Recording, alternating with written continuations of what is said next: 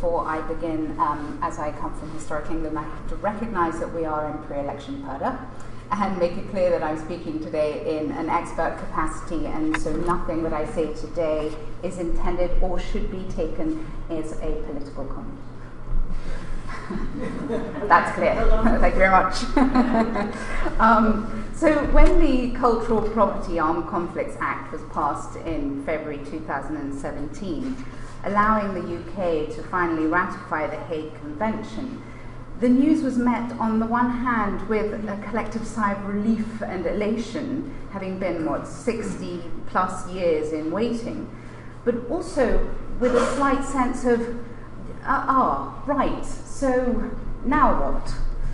I mean, the truth is that certainly on the civilian side, Historic England and its predecessors have been implementing the core principles set out in the Hague Convention in England for over 70 years. Notably, the identification, recording, and protection, to use the definitions in Article 1 of the Convention, of immovable property of great importance to the cultural heritage of every people, such as monuments of architecture, art, or history, whether religious or secular, archaeological sites, groups of buildings which, as a whole, are of historical or artistic interest. Whilst we had been protecting ancient monuments since 1882, like Stonehenge, it's worth remembering that England's listing system was born out of the very same conflict and resultant destruction that triggered the first draft protocol of the Hague Convention in 1948. On the 18th of November 1940, at the height of the London Blitz, a special meeting was held attended by Lord Reith, the then Minister of Works, and representatives of RIBA and the SPAB, which resulted, firstly, in the establishment of the National Buildings Record in 1941, which is now part of our own archives, which had the task of recording by photography historic buildings in the most vulnerable towns and later areas. And secondly, what was to become a heroic salvage scheme administered by the then Ministry of Works which saw 300 architects dividing England and Wales into 12 regions and then sub-regions, working by committee and using their local knowledge to draw up what is sometimes referred to as the modern Domesday, a list of over 120,000 entries over the next 25 years, which formed the basis of our current National Heritage List. But, importantly, in 1941, the lists were not created just to satisfy the curiosity of academics and civil servants. They were created because the lists were being submitted to the air raid precautions controllers, who were tasked by the Ministry of Home Security with reporting any damage to the listed buildings. Whilst only a few lists were completed before the bombings of 1940 41, they provided valuable information during the Baedeker raids in 1942, which targeted the historic towns of Exeter, Norwich, York, Bath, and Canterbury. It was really thanks to the salvage scheme that many historical buildings were saved from demolition and given temporary repairs to limit further deterioration. In the intervening years, the ministries have changed and in 1983 many of the functions were passed to an arm's length body, then English Heritage, now Historic England. But throughout, the purpose has remained constant. We protect, champion, and save the places that define who we are and where we've come from as a nation. There are over 400,000 statutory protected and registered sites, and I'm looking towards my colleagues. I think that's the correct terminology because the numbers uh, vary depending on what you're actually talking about. So, 400,000 statutorily protected and registered sites, buildings, and wrecks on our National Heritage List of England. This one here was our 400,000th uh, building. It's the Raleigh Cycle Company in Nottingham uh, which was listed grade 2 by DCMS, uh, which was the world's leading manufacturer of bicycles when the head office was built in 1931. And its largest, the company, at its largest, the company produced over 1 million bicycles a year across a 60 acre site. But what this also means is that as a listed building, even at grade 2, so the lowest grade of listing, unconsented destruction, extensive damage, or demolition of the building is now a criminal offence for this building, which could result in either a hefty fine, of which there's no limit to what the judge can impose, or two years imprisonment for an owner, or up to 10 years of imprisonment for criminal damage by a third party. It is also sobering to think that 70,000 protected heritage sites are subject to criminal damage or antisocial behaviour per year. That equates to 200 attacks per day. One particularly memorable case, though, centred around a bungled plot to force the demolition of a Grade 2 listed building by accidentally demolishing it. One cold February night in 1991 at around 2:40 a.m., local residents were shaken from their beds by an enormous explosion.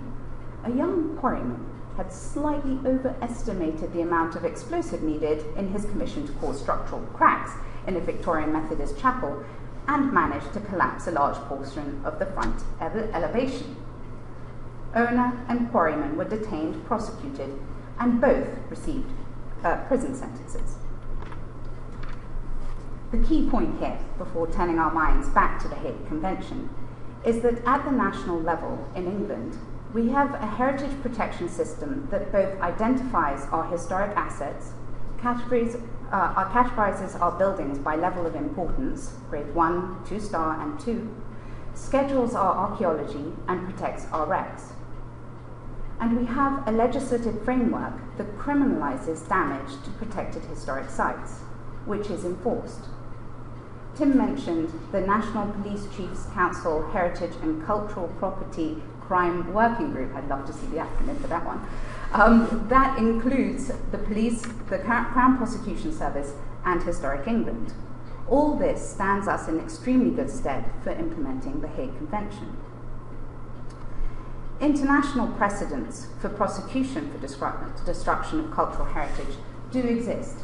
As we saw earlier, in 2016, Ahmad al-Faqi al-Mahdi uh, was convicted and sentenced to nine years imprisonment for the intentional destruction of nine mausoleums and a mosque in Timbuktu, a UNESCO World Heritage Site in Mali.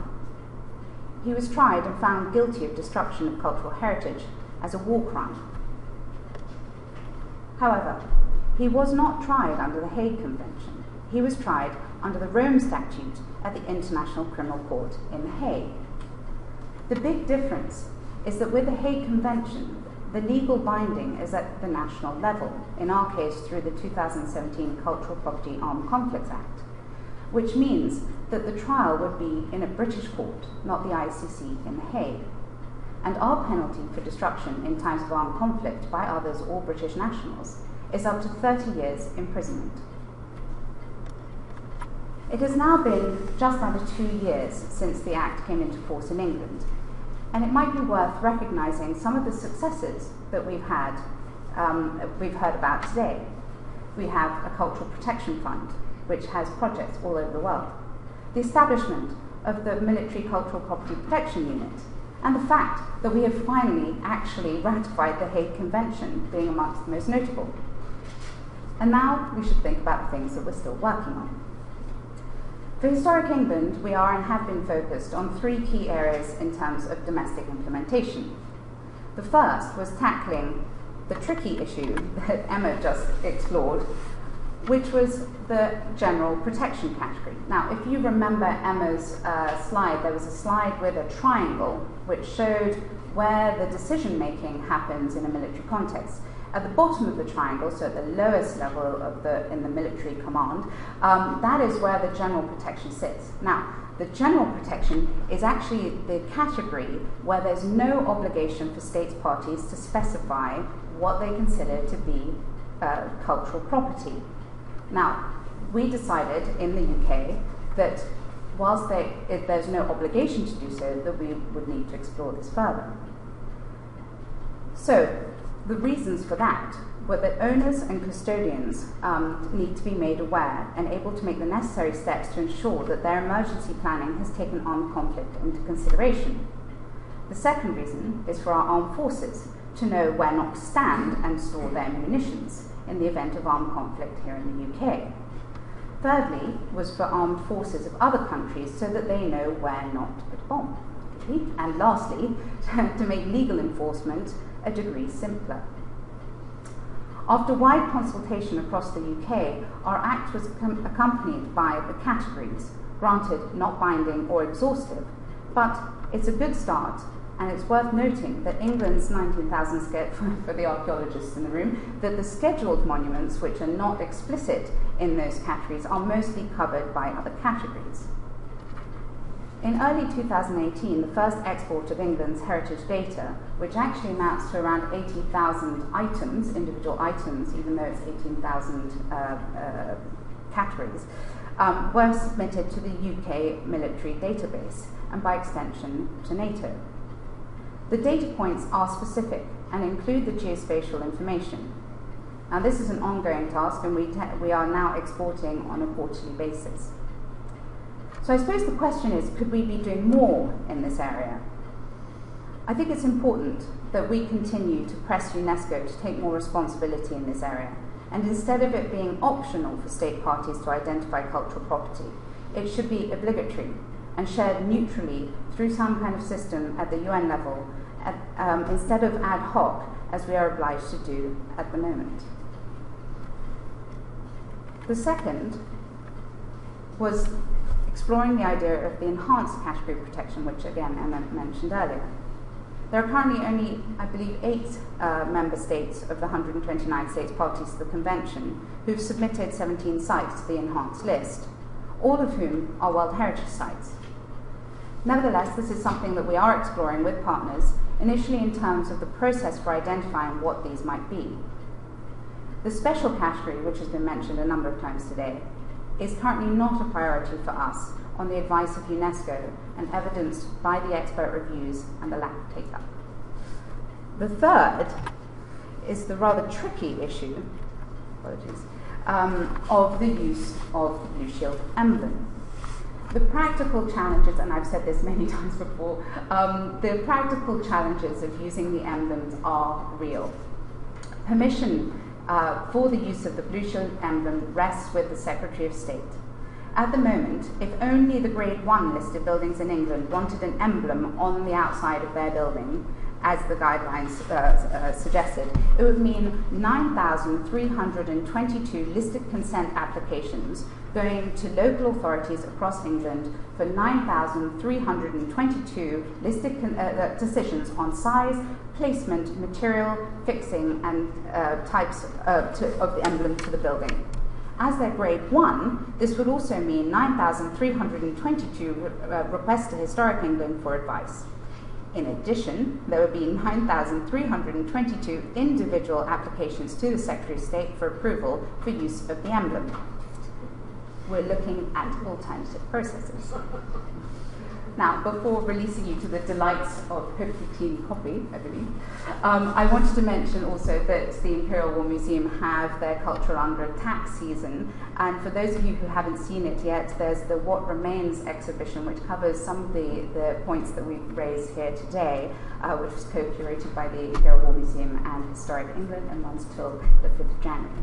Thank you very much.